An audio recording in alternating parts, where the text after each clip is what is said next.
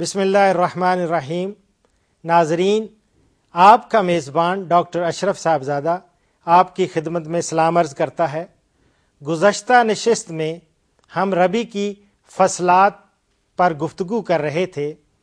آج اسی گفتگو کو آگے بڑھاتے ہیں۔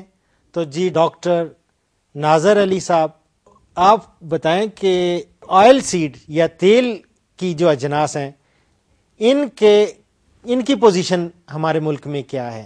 یہ کتنا ہم پروڈیوس کر رہے ہیں؟ کتنا ہم باہر سے منگوا رہے ہیں؟ اس کی ذرا صورتحال سے تو ہمیں ہمارے ناظرین کو آگاہ کیجیے۔ شکریہ سعودہ صاحب۔ میں آپ کو بتا دوں کہ یہ ایک بہت المیہ ہے کہ ہمارے ملک میں جو ضرورت ہے خوردنی تیل کی، وہ تقریباً انیس لاکھ ٹن ہے۔ لیکن اس میں سے ہم صرف ساڑھے چھ لاکھ، پونے سات لاکھ ٹن ملک میں پیدا کر رہے ہیں۔ باقی ستر فیصد جو ہے وہ باہر سے امپورٹ کرتے ہیں۔ جس پر تقریباً ہر سال گورنمنٹ آف پاکستان کا چالیس ارب روپیہ خرچ ہوتا ہے جو کہ بہت بڑی اماؤنٹ ہے۔ پھر میں آپ کو یہ بتاؤں کہ یہ تیس فیصد جو پینتیس فیصد ہم تیل اپنا پیدا کرتے ہیں اس میں بھی پینتیس فیصد حصہ پچہتر فیصد حصہ جو ہے وہ بینولے کے تیل کا ہے۔ اچھا۔ اور جو کاٹن سے آتا ہے یہاں پر سر میں تھوڑا انٹرپٹ کروں گا۔ جی۔ سر انٹرپٹ یہ کروں گا کہ ماشاء اللہ جیسے ناظر صاحب نے خود بتایا کہ جی ہمارا جو ستر فیصد باہر سے آتا ہے تیل اور یہاں پر تیس فیصد۔ تیس فیصد میں پھر انہوں نے بتایا کہ جی ستر فیصد کاٹن سے آتا ہے۔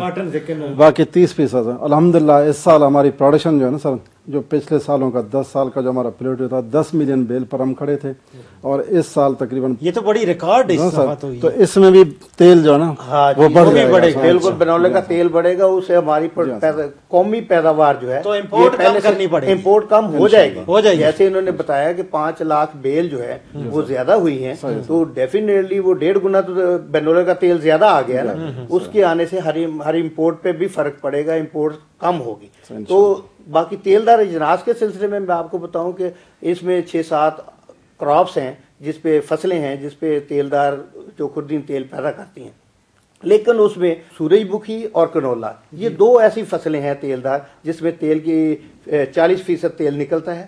آئل سیڈ میں کنولا ایک ایسی فصل ہے جس پر ہم کافی توجہ دے رہے ہیں۔ گورنمنٹ بھی کافی اس پہ کر رہی ہے۔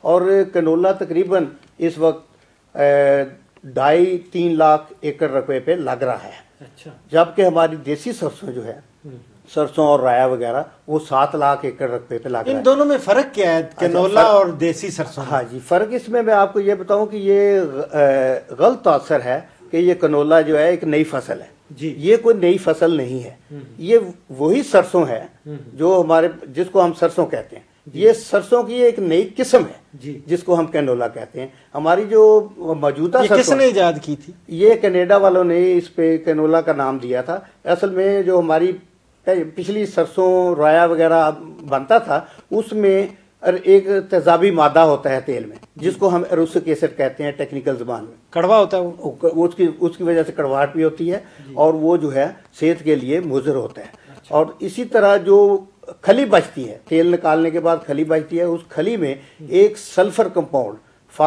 سلفر کا کمپاؤنڈ ہوتا ہے جو مضر جانوروں کے لیے، صحت کے لیے وہ نقصان دہ ہوتا ہے۔ اور یہ دو کمپاؤنڈ جو ہیں، وہ انہوں نے سرسوں میں سے کینیلا والوں نے نکال دیے۔ اچھا۔, اچھا جب وہ دو پاؤنڈ یہ عناصر نکال دیے زہریلے مادے تو اس کا نام انہوں نے کنولا دے دیا اچھا۔ یہ وہی سرسوں ہے صرف اس میں سے دو زہریلے مادے جو ہیں وہ نکال دیے گئے اچھا یہ کولیسٹرول فری ہے ایک تو یہ کولیسٹرول ایڈ نہیں کرتے تھے ہاں۔ لیکن اس میں خوبی ہے کہ یہ جو موجودہ ہے کولیسٹرول ہے اس کو بھی کم کرتا ہے اس میں ایک ایسا انسر فیٹی ایسڈ پایا جاتا ہے اچھا اس لیے ہم کہتے ہیں کہ یہ کنولا کا تیل جو ہے یہ اچھی غذائیت والا اور اچھا تیل ہے اس کو پروسیس کرنے کی ضرورت نہیں۔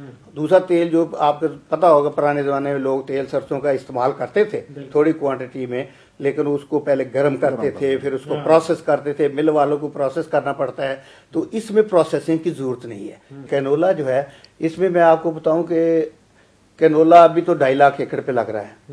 تو ہم نے یہ متعارف تو کرایا لیکن آہستہ آہستہ اس کا رقبہ بڑھ رہا ہے۔ اب اس سال اس کا ہدف جو ہے دو لاکھ اسی ہزار ایکڑ پہ رکھا ہوا ہے گورنمنٹ نے۔ جی۔ تو اور لیکن ہمارا جو ابھی ہم زیادہ زور دے رہے ہیں ہم جو ہماری دیسی رایا سرسوں جو ہے نا وہ تقریباً سات لاکھ ایکڑ پہ لگ رہی ہے۔ اچھا۔ تو ہم کوشش ہم نے بلکہ ہم کامیاب ہو گئے کہ وہ جو ان قسموں میں ہم یہ کنولا کوالٹی ٹرانسفر کر دی ہے۔ اچھا۔ اور اس میں سے ہماری دو ورائٹیز جو ہیں ابھی ورائٹی ویلیوشن کمیٹی میں ہیں جو ہم اپروو ہو گئی تو ہمارا ٹارگیٹ ہے کہ وہ سات لاکھ ایکڑ رقبے کو ان نئی ورائٹیوں سے ریپلیس کر دیں۔ اچھا۔ تاکہ ان علاقوں میں جہاں وہ لگتی ہیں ہاں۔ کیونکہ یہ جو موجودہ کنولا ہے یہ سرد علاقے کی فصل ہے۔ یہ اچھا۔ مختلف سپیشیز ہیں نا مختلف قسمیں اچھا، ہیں۔ ہاں یہ سپیشیز جو ہے یہ سرد علاقے کی ہے۔ اچھا ہمارا زیادہ رقبہ جو لگتا ہے وہ گرم علاقوں میں۔ گرم علاقوں میں لگتا ہے رایا سرسوں وغیرہ۔ جی۔ تو ان قسموں میں ہم نے اس کریکٹر کو ایڈ کر دیا ہے۔ ہمارے پاس دو ورائٹیز آ بھی گئی ہیں۔ تو ہمارا فائنل ٹارگٹ یہ ہوگا کہ ہمیں زیادہ زمین کو بڑھانے کی ضرورت نہیں ہوگی۔ ہاں، ہاں۔ کوئی ٹیکنالوجی نہیں دینے کی ضرورت نہیں ہوگی۔ صرف ورائٹی بدلنے سے تو ہم وہ سات لاکھ ایکڑ کو کیچ کر سکتے ہیں دو سال میں چار سال میں پانچ سال میں جب ہم ساتھ یہ ایک بہت بڑی کامیابی ہوگی اور اس سے ہمارا بہت سی ضروری اچھا ڈاکٹر صاحب ایک دیکھا ہے کہ سرسوں جب پک جاتی ہے تو جب پک جاتی ہے تو اس کے بیج گرنا شروع ہو جاتے ہیں۔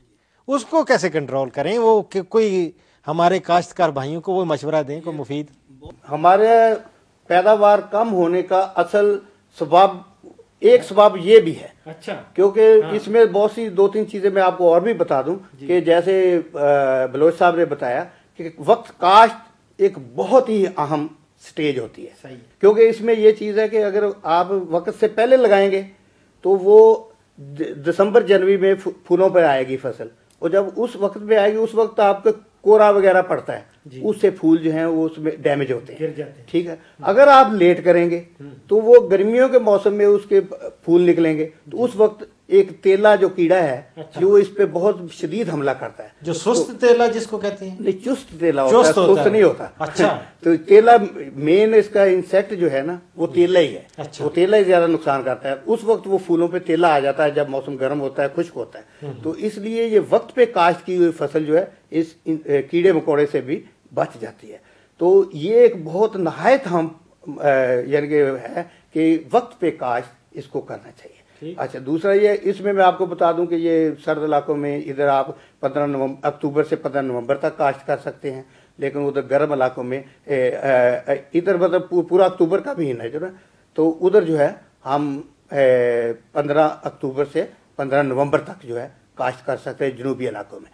ٹھیک ہے نا؟ تو دوسری سٹیج جو ہے بہت اہم سٹیج ہے وہ جب نہری علاقوں میں آپ لگاتے ہیں جی۔ پانی کی سٹیج ہے۔ اچھا۔ کہ پہلا پانی جو ہے جب اس میں وہ گندلیں نکلنی شروع ہو جائیں اچھا۔ وہ بہت کریٹیکل سٹیج ہے۔ اچھا۔ اس وقت پانی لگانا یعنی یہ بڑا نازک مرحلہ ہے۔ نازک مرحلہ۔ برانی میں تو چلو یہ اللہ کی قدرت ہے یہ آپ نے بارش پہ منحصر کرنا ہے لیکن جہاں نہری علاقے ہیں وہاں جب گندلیں نکلنی شروع ہوں اس وقت پانی لگانا بہت ضروری ہے۔ پھر جب پھول بننے بنے اور پھلیاں بننی شروع ہو جائیں ایک وہ مرحلہ بہت نہایت ہی ضروری ہے۔ پھر اس کے بعد سیڈ کی ڈیولپمنٹ یہ تین سٹیجز ایسی ہیں جس وقت پانی کی اس کو کمی نہیں آنی چاہیے تاکہ بیج صحیح طرح بڑھے صحیح طرح پھلی بڑھے اور اس میں بیج کی ڈیولپمنٹ ہو۔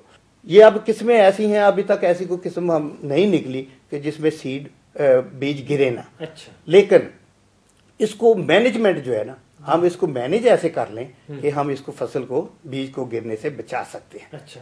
وہ کس طرح مینج تو میں اسی طرح میرے پاس ایک ذمہ دار ہے میں آپ کو جسٹ ایک واقعہ بتاؤں کہ ذمہ دار کہتا ہے یہ اس کی کتنی پیداوار ہے؟ میں نے کہا جتنی آپ لے لیں۔ اچھا۔ دو من بھی لے سکتے ہیں پانچ من بھی لے سکتے ہیں دس من بھی پندرہ بھی بیس بھی تیس بھی لے سکتے ہیں۔ اچھا۔ اسے کہا یہ کیا بات ہوئی؟ میں نے کہا بات یہ ہے کہ جیسے آپ مینج کریں گے ہاں۔ ایسے اگر آپ کی فصل میں نے ایک ذمہ دار کے دیکھی جی ملتان میں فصل لگائی تین سو ایکڑ لگی تھی شروع شروع میں کنولا اچھا۔ تو وہ ہمارے اندازے کے مطابق بیس من اس کی پیداوار ہونی چاہیے۔ بعد میں وہ پانچ من بھی نہیں آئی۔ جب وہاں پتا کیا وہ ساری شیٹر ہو گئی۔ ہاں، ساری وقت پہ ہارویسٹ نہیں کیا۔ تو انتظار کرتے رہے کہ فصل پک جائے پک جائے پک جائے وہ ساری شیٹر کر یہ مینجمنٹ ہے کہ آپ وقت پہ اسے سنبھال لیتے تو بیس من لیتے۔ اگر وقت پہ نہیں سنبھالتے تو ہر چیز وقت پہ کرنی چاہیے۔ اس میں ایک جو نقطہ میں آپ کو بتانا چاہتا ہوں اس کی برداشت کا وہ یہ ہے کہ جب فصل کا رنگ بورا ہونا شروع ہو جائے اچھا۔ اور مین شاخ جو ہے اس کی جی۔ اس میں آپ دیکھیں کہ تیس سے چالیس فیصد جی۔ پھلیوں میں دانے جو ہیں وہ براؤن رنگ کے ہو گئے۔ اچھا۔ تیس سے چالیس فیصد اچھا۔ تیس سے چالیس فیصد جب پک جائیں تو اس کو کاٹ لیں۔ اچھا اس وقت کاٹ اس وقت کاٹ لیں۔ اور کاٹ ساری پکنے کا انتظار ساری پکنے کا انتظار نہ کرے ورنہ اب نقصان ہو۔ ہاں پھر کوئی چیز بوئیں یا کاٹیں بغیر مشینری کے کام نہیں ہو سکتا۔ تو ڈاکٹر منیر احمد صاحب سے پوچھتے ہیں کہ اب گندم جو ہے، بہت سارے ہمارے علاقے ہیں جس میں پکنے کے آخری مراحل میں پہنچ چکی ہے، خاص طور پہ صوبہ سندھ میں۔ لوور سندھ میں